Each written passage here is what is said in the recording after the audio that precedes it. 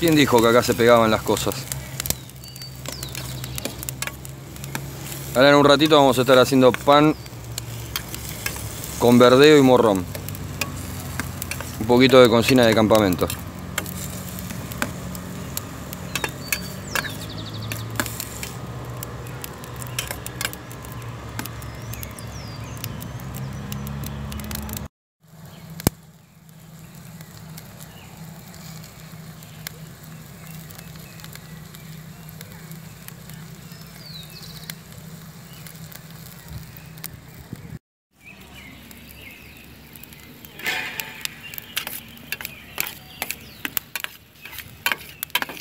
¿Ven?